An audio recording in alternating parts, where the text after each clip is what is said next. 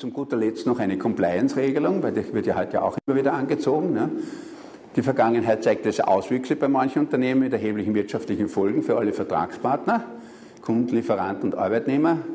Compliance ist die Forderung an leitende Personen, sich an Gesetze und ethische Grundsätze zu halten. So, also ich sage immer bitte, in der nationalen Bereich sollte das eine Selbstverständlichkeit sein. Ja? Ich kann Ihnen aber sagen, bitte, es gibt schon eine Menge Schwierigkeiten, ja, weil unser leider unser Gesetzgeber macht sich das Leben auch, auch manchmal einfach. Er lässt ein Gesetz, wo er bestimmte Regelungen trifft, für einen bestimmten Bereichen oder Bereiche. Und dann hat er aber völlig vernachlässigt, dass es andere Bereiche gibt, wo die genau das Gegenteil dann bewirken von dem, was sie haben wollten. Das wird aber nie mit überlegt. Ja? Das wird nie mit überlegt. Also ich habe das noch fast nie gehört, außer im, im, Privatrecht, dass man, wenn man dort eine Regelung nimmt, dass man dann sich schon überlegt, was hat sie für Wirkungen auf andere Sachen. Aber wenn man heute zum Beispiel das Datenschutzgesetz erlässt, dann hat man mit dem Gleichbehandlungsgesetz sofort eine riesige Schwierigkeit. Ja? Will ich Ihnen jetzt gar nicht schildern, wo man da, wo, was da alles, wo da für Schwierigkeiten auftreten können.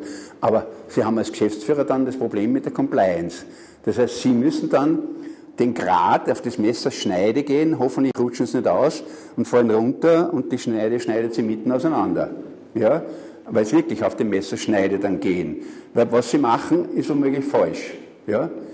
Also von der Seite gilt die Compliance-Regelung auch im nationalen Bereich ein Problem, aber äh, sie ist auch international ein Riesenproblem, weil durch verschiedene Rechtsordnungen entstehen Lücken, die zum Nachteil von Vertragspartnern und Finanzbehörden ausgenützt werden.